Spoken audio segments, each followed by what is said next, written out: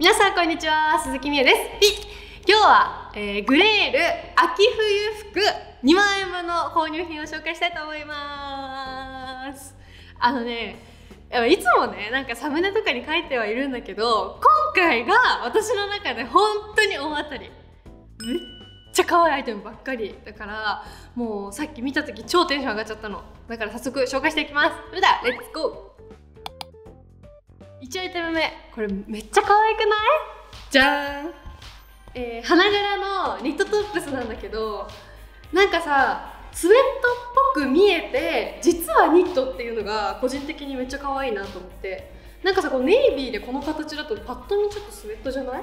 なんかお花がねなんかこう結構レトロな感じでなんかそれもすごい子供っぽく見えないお花だなって思った。これねマジ素材がめっちゃ良くて。伝わる？なかなかケバケバしなそうな感じの結構しっかり編んである感じのニット。なんか洗濯して表面けばるとかあるじゃん。それがあんまなさそうだし、まあ、個人的にはこのもうサイズ感がめちゃ可愛い。次のアイテム。こちら。シャツなんだけどここここが開いてる。オープンショルダーのシャツになってます。これさ私ずっとね夏から狙っててなんか欲しい欲しいと思ってたんだけどなかなか巡り合えなくてでグレールが出してた。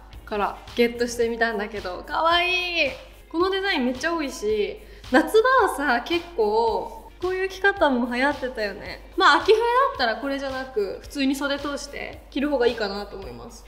でまあ白のシャツだから正直さこれだけだとこれからの時期ちょっと寒くないってなるから、まあ、ここヒートテック着れないって考えたらまあ上からコート着てノーカラーのコートとか合わせたらいいかな。ただねやっぱ可愛いんだけど可愛いんだけどさやっぱさしょうがないよね。やっぱグレールのシャツってさやっぱねこういう感じの素材？やっぱアイロン必要系シャツ。まあまあ可愛いからね。いいでしょう。次のアイテム可愛くないこれ。肩がこう開いてるね。ニットトップスなんだけど私ね肩開いてるニットトップス大好きなの。で結構毎年着てるんだけどこれさ開き方がめっちゃ可愛いなと思って結構がっつり開いてるからさ昔なんか水泳やってたから肩幅結構広いんだけど逆にさここまで出しちゃえば意外と華奢に見える説あるんじゃない？なんか程よいなんか女子って感じの淡い色味のカーキ？これも可愛い。今年流行りのねクロップド丈だから。ボトムも、まあ、ミニも履けるしまあ普通にフレアパンツとかも履けるからこれめっちゃ当たり。続いて途中でちょっと番外編というかなんかちょっと挟むんですけどインナーシリーズ。じゃん。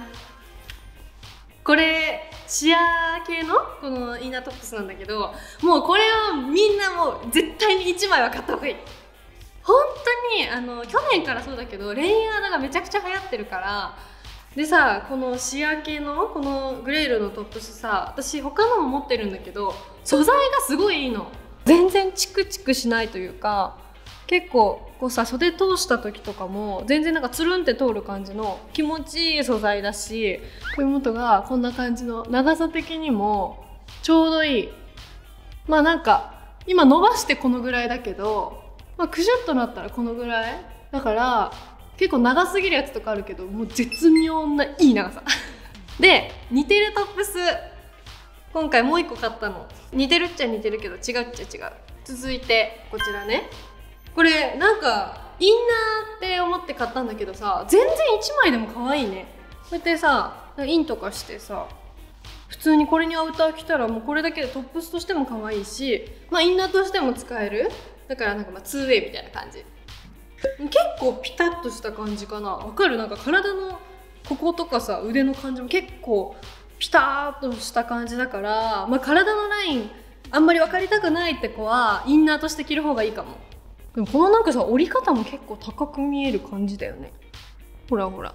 こういう黒のトップスって冬めっちゃ着るじゃん。なんかもうなんか困ったらこういうの着ちゃうから。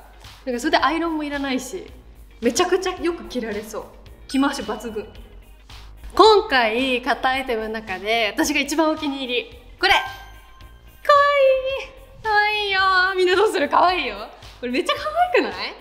なんかさっきのあの緑の肩開いてるやつが男の子受けだとしたらこれは多分完全に女受けのお洋服だと思うんだけどなんか結構短めな感じでまあ何よりもとにかくもう柄が可愛い。柄と色味が絶妙に可愛い。何も着なくても、まあ、すっきりしてて可愛いんだけどこうレイヤードした方が今年っぽいかなって思う。カーディガンとかってさ毛結構抜けない？だからさこれさもうお伝えしたい。抜けません。これ結構ありがたくない？今回のニット系は全部ケバケバしなそう。次のアイテムは今回の購入品で唯一のワンピース。じゃん。このフレアスリーブのワッフルポロワンピース。でさ私すごい正直な話。あんまりこれ期待してなかった。でも着てみたらめちゃくちゃ可愛いじゃんと思ってなん。か期待値以上でした。カジュアルになりすぎちゃうかなと思ったんだけど結構女っぽい感じにでも素材でカジュアルにさらっと着れる感じのワンピだからめちゃくちゃ可愛かった。で後ろでね見てスリットが入ってる。何回か洗濯とかしたらちょっとなんか素材気になってくんのかなみたいな若干の不安はあるけど。続いてのアイテムこれも可愛い。こちら、えーと、グレンチェック柄のショート丈のジャケットとボトムのセットアップなんだけど実はこれほらショートパンツになってる。まあなんか秋冬ってさもうグレンチェックのあのジャケット？私すごい着たくなるの。でグレンチェックの黒も持ってるし茶色も持ってるんだけどショート丈のジャケット意外と持ってないなと思って今回ゲットできた。可愛いんだけどさやっぱ今届いたまま本折るやつ見て読んだページ折るみたいな感じになっちゃって。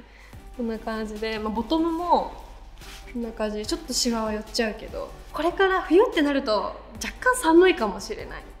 だからヒートテックとか着て、ま、カイロとか貼ってもうおしゃれを優先させるみたいな子はいいかもしれん、えー、次のアイテムからボトムこちら。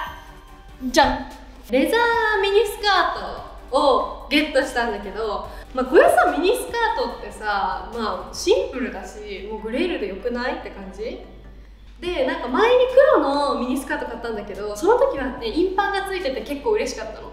ただこれはもうインパンついてないただの普通のミニスカート。で、まあ、白のレザーってことであんま重たくなりすぎないけど冬っぽい素材っていうのも結構いいかな。なんか私夏はミニスカートさ足日焼けしちゃうから履かないの。あんまり。で冬は寒いからもう履きたくないの。だから今の秋、ま、春と秋が個人的にもうミニスカートを楽しまなきゃいけない時期だから今秋に、まこうしてミニスカートゲットして秋たくさん履きたいなと思います続いてのアイテムこちら。ででんでんででん。えっとスリットが入ってるロングスカート。黒です。あのやっぱねタイトスカートの黒って最近めちゃくちゃ合わせやすいなと思って最近やっぱ履くのねだからちょっと違うパターンのを買ってみたんだけどこうやってが前にスリットが入ってることによってブーツ合わせても歩いた時にブーツがチラ見えして合わせてもおかしい感じにならないからこれはなんかこの長さのロングスカートでブーツ合わせるのいいかなと思う。素材がなんかねそう不思議なの。なんちゅうんだろうこれ。まあアイロンが必要そうかなって感じ。見た感じもちょっとあんま分かんないかな。まあしわ寄ってるし。まあ結構座ったりしたらしわ寄っちゃいそうだから定期的にアイロンかけてあげる感じかな。ラスイチ。これはもう合わせやすいアイテム。こちら。とここのね下のとこがフリンジっぽくなってるフレアパンツです。今まで結構グレールのこうシンプルな感じのパンツ買ってきたんだけどそのパンツの中でも結構太もものとこがかなりピタッとした感じでまあ裾に行くにつれて広がってる感じになってます個人的にはこう大きめのトップスとかに合わせてもうお尻のとこを隠したい。で私身長1 6 0センチで S サイズなんだけど若干裾がついちゃう感じだから、まあ、これブーツだったりヒールだったりちょっと高いのに合わせた方がいいかなと思います。フリンジがこんな感じにキリッパみたいな感じかな。なんか想像してるフリンジではない。あのキリキリッパって感じです。もう履きやすい。あめっちゃ伸びるよめっちゃ伸びる。超履きやすい。なんかプチっていったりしなそうだから。ということでグレールの秋冬の服2万円分購入品でした。今回は本当に大優勝。ということで、えー、今日の動画がちょっとでも良かったなって方はグッドボタンとチャンネル登録そしてコメントをよろしくお願いします。チャンネル登録待ってるよ。結構圧強めに。バイバーイ。